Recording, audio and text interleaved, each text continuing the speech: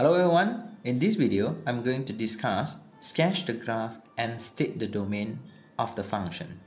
So given the situation is a surd or square root, by referring to e, the fx is square root of x minus 2. So now we are going to discuss how to sketch the graph. Step number 1, find the domain. So for these cases, square root x, the x will be greater and equals to 0. So for this case, square root of x minus 2, meaning that x minus 2 will be greater and equals to 0. So x will be greater and equals to 2. So the domain will be 2 until infinity. Step number 2 by referring to the domain. So the domain is from 2 until infinity. So the starting point will be 2. Step number 3. Refer to the graph. Since the starting point is 2, so the location will be around here. 1, 2. If we substitute the value 2 into the function, what will be the answer? Or the value of y. So the value of y will be equals to 0. So when x equals to 2, y will be equals to 0. So this will be our starting point. So this is the starting point. Step number 4, the direction. If the situation for square root x minus 2 we're going to refer the x. If the coefficient is a positive, so the direction of the graph will be to the right. If the situation is negative, then the direction will be towards the left. So I repeat, if it's a positive, the situation will be to the right. If it's a negative, then the situation will be towards the left. So for this case, square root of x minus 2, the situation will be to the right. So this will be our graph looks like. So by referring to the graph, so now we have to determine the range. So for this situation, range meaning that the value of y.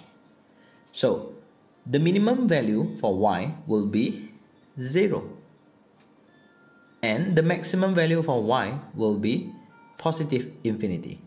So for this case, the range will be equals to 0 until positive infinity.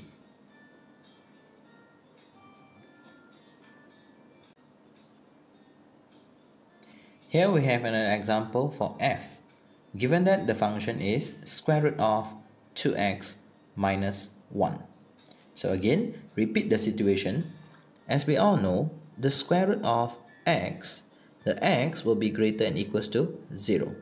So for this situation, square root of 2x minus 1. So 2x minus 1 will be greater than equals to 0. So finally, x will be greater and equals to 1 over 2. And the domain will be 1 over 2 until positive infinity.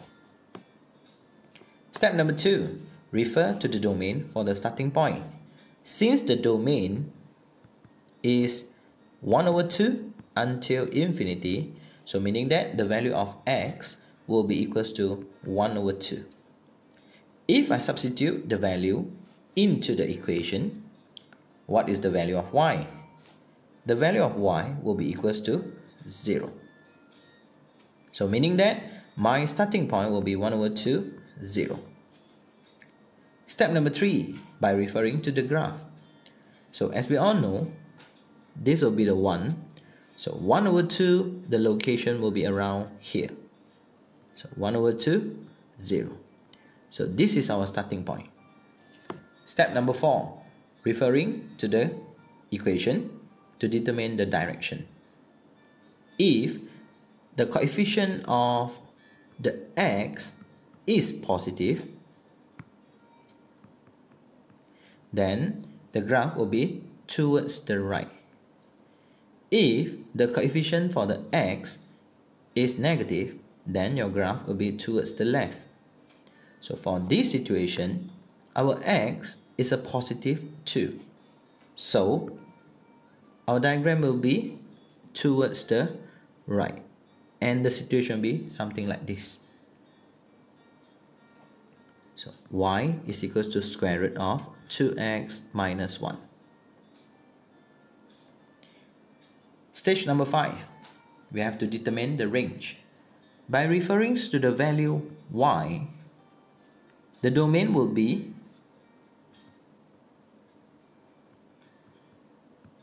zero until positive infinity because by referring to the graph the minimum value for y is 0 and the maximum value is a positive infinity. So here we are and thanks for watching.